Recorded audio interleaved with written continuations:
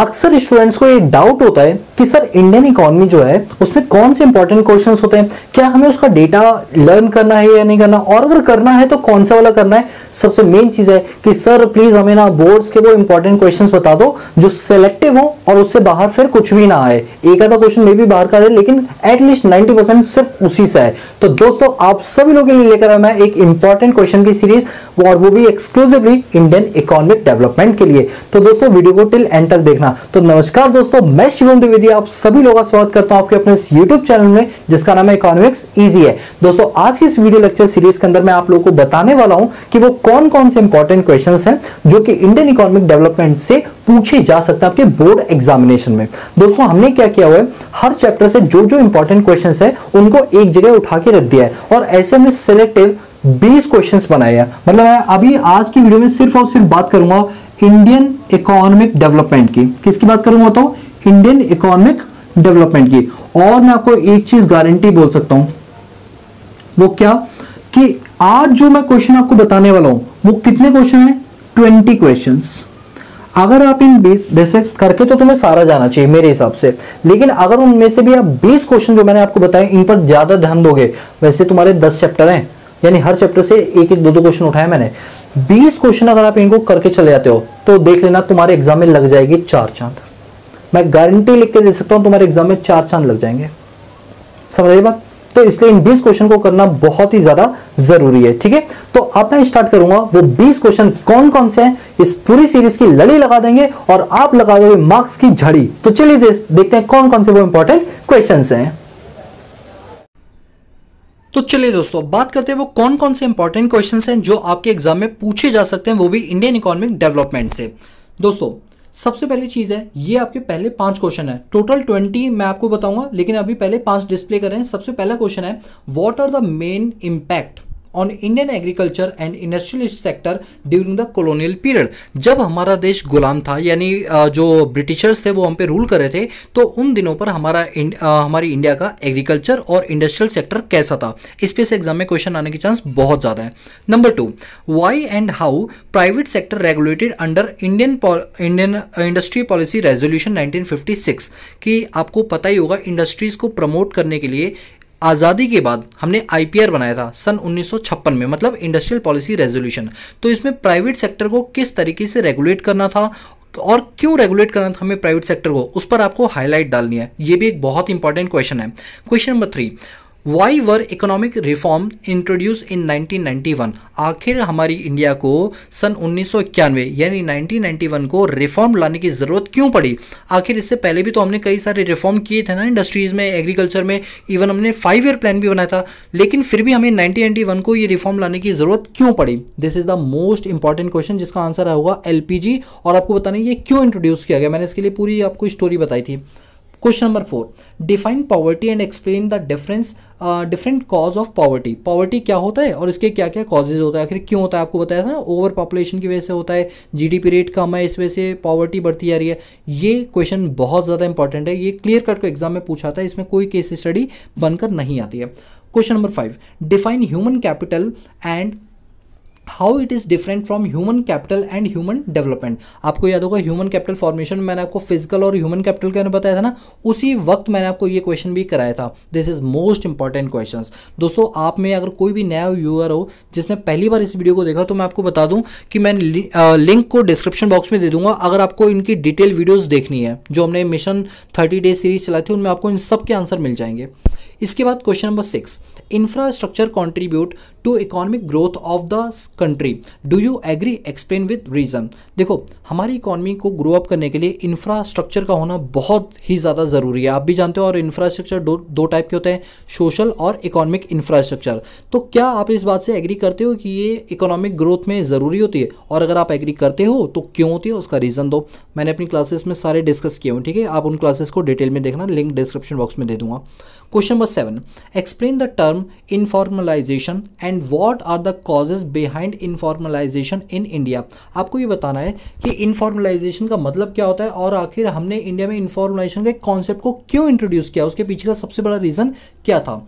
Now question number eight write the difference between formal sector and informal sector of employment याद है मैंने एक limit बताई थी कि इससे ज़्यादा एम्प्लॉय अगर काम कर रहे हैं एक फैक्ट्री या एक ऑर्गेनाइजेशन में तो उसे हम फॉर्मल बोलेंगे अदरवाइज़ इनफॉर्मल बोलेंगे। और आपको ये भी बताया था मैंने पीएफ या सोशल सिक्योरिटीज़ के इनको बेनिफिट्स नहीं मिलता है किनको इनफॉर्मल को। तो ये दोनों में डिफरेंस पूछा गया है। यार, हर चीज़ मैंने वीडियो में कराई हुई है अपनी, ठीक है? ये भी एक इंपॉर्टेंट क्वेश्चन है। Question number nine what are the steps needed for sustainable development in India दोस्तों सस्टेनेबल डेवलपमेंट की ज़रूरत हमारी इंडिया को क्यों पड़ी और अगर पड़ी भी है तो उसके क्या क्या स्टेप्स होते हैं? तो आपको बता दूँ सस्टेनेबल डेवलपमेंट का मतलब होता है कि इस तरीके से डेवलपमेंट करना है इकॉनमी का कि फ्यूचर जनरेशन के लिए भी रिसोर्सेज बचे रहे। उनको बोलते हैं सस्टेनेबल डेवलपमेंट जिसके लिए हमने सोलर एनर्जी और कई टाइप के इंटरनेशनल अलायंसेस किए थे इंटरनेशनल कॉन्ट्रैक्ट्स किए थे। मैंने वीडियो में सब कुछ बताया हुआ ठीक है? This is most important question ठीक है?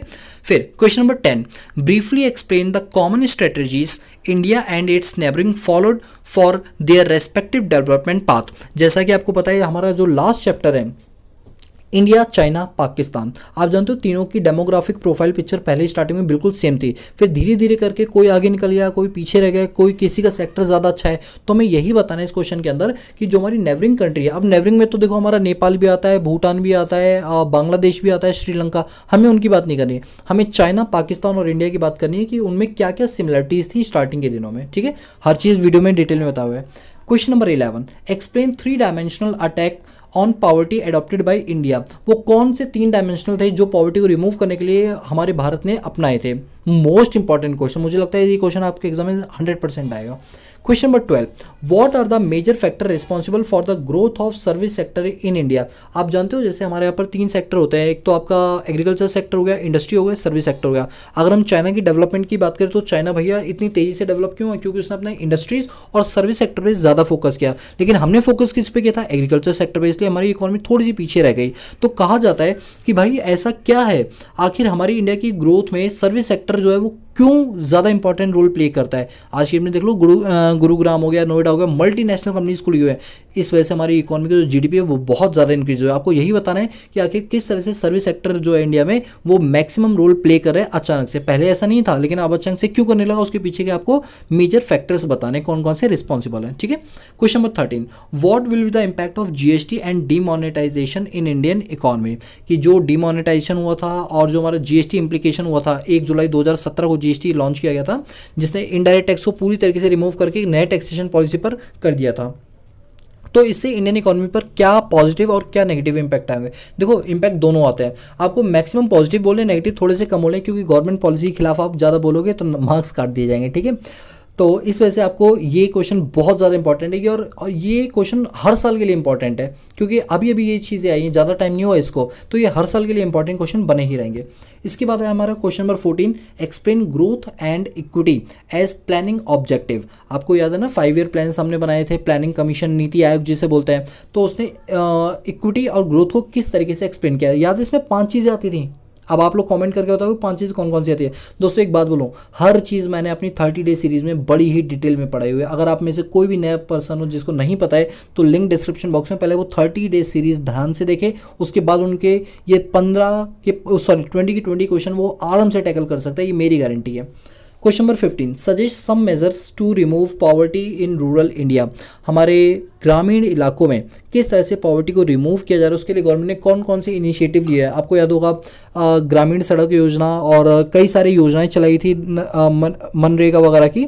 तो वो आपको इसके अंदर लिखनी कि पॉवर्टी को रिमूव करने के लिए कौन कौन से मेजर्स जो है वो सजेस्ट किए गए थे, ठीक है? इसके बाद देखो आगे क्या देखा है। अगला क्वेश्चन है हमारे question number sixteen how can we increase the efficiency of health programme in India आखिर किस तरीके से हम अपनी हेल्थ को हेल्थ केयर को आगे बढ़ा सकते हैं? आपने देखा कोरोना के टाइम पर हमारे हेल्थ केयर फैसिलिटी की जो सच्चाई है, वो सामने निकल कर आई है। तो वही कहा जा रहा है कि भैया, इस चीज़ को कैसे इंप्रूव किया जाए? किस तरह से कौन कौन से प्रोग्राम इंडिया ने चलाए हैं और किस तरह से इसको जो है सही किया गया वो सारे के सारे मेजर्स आपको यहाँ क्या करने हैं? एक्सप्लेन करने हैं, ठीक है? चलो, इसके बाद हमारा क्वेश्चन नंबर सेवनटीन बनता है rate of economic growth and consumption of energy are directly related अच्छा इकोनॉमी की जो ग्रोथ है, क्या वो हमारी एनर्जी की कंजम्पशन से रिलेटेड है कि हम जितने ज़्यादा अपने फोसिल फ्यूल्स जैसे पेट्रोल हो गया डीजल हो गया, कोल हो गया, इनका ज़्यादा कंजम्पशन करेंगे तो क्या ज़रूरी की इकोनॉमी ग्रो अप करेगी करेगी? और अगर करेगी तो क्यों और नहीं करेगी तो क्यों? वो सारे के सारे रीज़न आपको देने हैं, ठीक है? ये बहुत ही ज़्यादा इंपॉर्टेंट क्वेश्चन है वैल्यू बेस्ड क्वेश्चन बनता है क्वेश्चन नंबर सेवेंटीन आपका।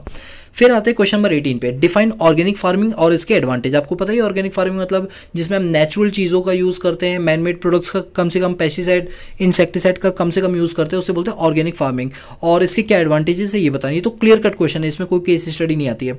फिर क्वेश्चन नंबर नाइनटीन है what was the impact of zamindari system on present welfare कि आज की डेट में जो जमींदारी सिस्टम है, क्या उससे हमारी इकोनॉमी पर इम्पैक्ट पड़ रहा है? And question number twenty do you think outsourcing is good for India and why developing countries are opposing it कि आप बताओ आउटसोर्सिंग आउटसोर्सिंग का मतलब क्या होता है? कि हमने एक पर्टिकुलर काम उस कंट्री को दिया है, जो कंट्री उस काम को अच्छे से कर पाती है।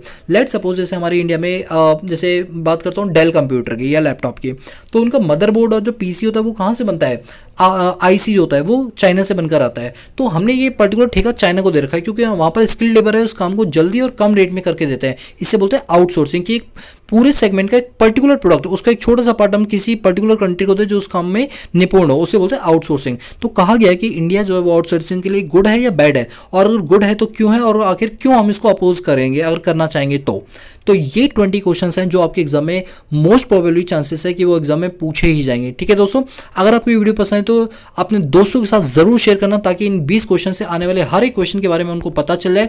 और दोस्तों, इसी तरह के इंपॉर्टेंट क्वेश्चन हम अपनी मोबाइल एप्लीकेशन पर भी लॉन्च करते रहते हैं, जिसका नाम है इकोनॉमिक है। तो उसको भी आप डाउनलोड कर लीजिए और इसी तरह से इंपॉर्टेंट क्वेश्चन की सीरीज़ को हम आगे बढ़ाते रहेंगे और अपना प्यार और अपना सपोर्ट लाइक और शेयर से हमें ज़रूर देते रहना। तो गाइज़ आज के लिए इतना ही। मिलते हैं नेक्स्ट क्लास में। आज के लिए पीस आउट